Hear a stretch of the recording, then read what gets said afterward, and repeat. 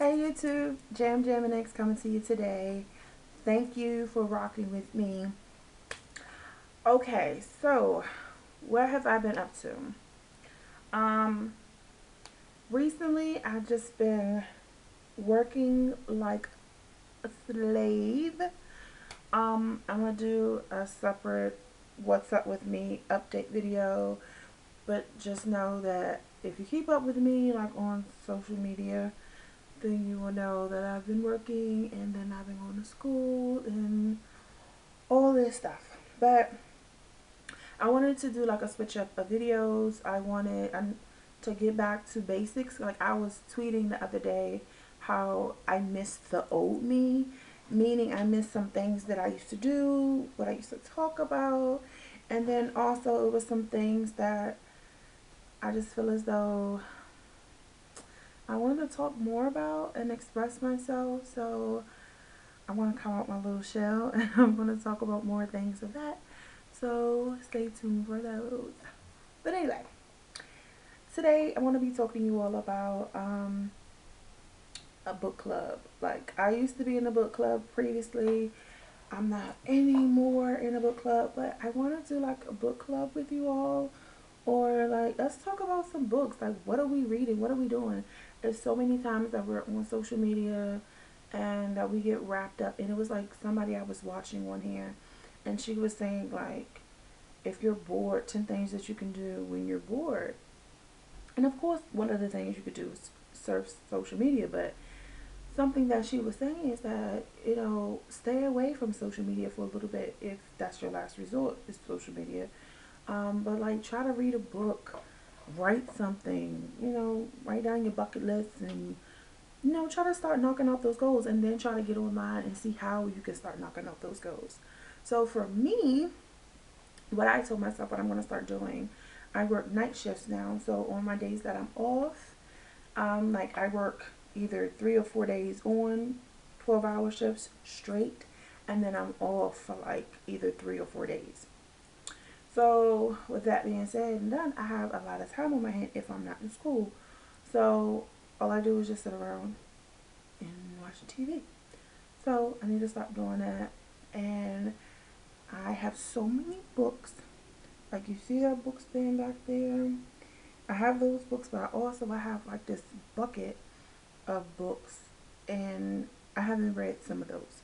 So like the end of 2015, I purchased probably about 10 books and I didn't read them yet. And that's terrible. Like, I'm an avid reader and I really need to get back into it.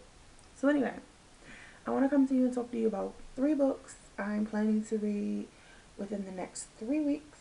I want somebody to talk to me about it because nobody, like I said, people, I know y'all, I know y'all read books. Somebody read books out there. But it's just, it's really hard to talk to people nowadays about books and I'm a nerd. Hi.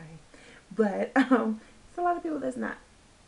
So anyway, I want to talk to you about what I do when I read certain books, what books I'm reading, and um, I could talk to you about possibly some upcoming books. So this might be a two-parter.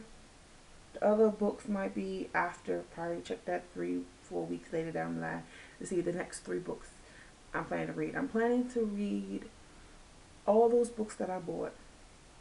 So, anyway, without further ado, I get these together. So, the, these books, um, first two books, I'm reading now. Okay. So, a lot of you all seen this. This is DeVon Franklin and Meagan Good, The Wait. Now, I was super pressed. I love them. Like I really think that they're a really good couple. They're very motivational and inspirational. And I wanted to, when as soon as I saw this on their Instagram, I was like, let me see what this is about. And I immediately pre-ordered the book. So because I pre-ordered, I was able to um, get them to sign it.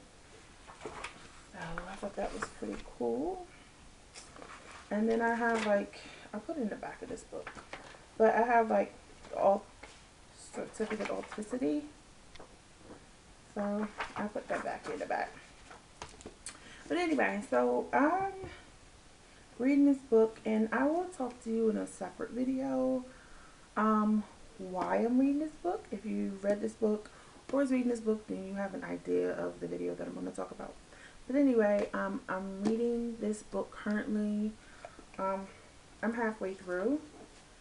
And I do have an obsession with bookmarkers. Judge me not. But my mom gave me this one. And I thought it was absolutely beautiful. You can see it see through. And then, you know, it's saying everything that I am. so um, I thought that was pretty dope. So I put that in here. But also something that I do when I try to read like motivational books is um, sometimes they'll have in here like they ask you questions and, and make you think and it makes you wonder or you highlight stuff. But in this one, since they signed it, I didn't want to highlight. I know that sounds crazy. I didn't want to highlight it. But I did take some sticky notes and I have my favorite thing, Sharpie. Anybody knows me knows I'm obsessed with Sharpies. I've said that before. But anyway, so instead of me um, writing in the book, I write on the sticky notes and I'll place it where it's at. So if I want to come back and read it or if I want to talk to somebody about it, like maybe I want to talk to you all about it, I can talk about it. So when I do my other video, I'll speak to you all about it and about the sticky notes. And hopefully by that time I'll be finished with this book because it doesn't take me long to read. Especially a book that's only, what, 245 pages or something like that. It doesn't take me that long. So, um, so I'm reading that. That's actively what I'm reading. Um, now this one, Joyce Meyer by Battlefield of the Mind. I did start reading this and then I stopped. And I think I stopped because this is the point in time I was moving into my current apartment. So my mind got a little bedazzled with other things. So um, I was going to pick this back up. I didn't forget a lot of the stuff in here. Maybe I might start it over or something. But I was going to start this back up tomorrow. And let me show you the one on here.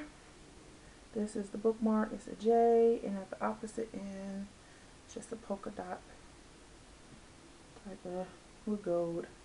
I told you I'm obsessed with bookmarks. What I try to do every time I buy a book, I try to actually um, buy a bookmark. I love bookmarks.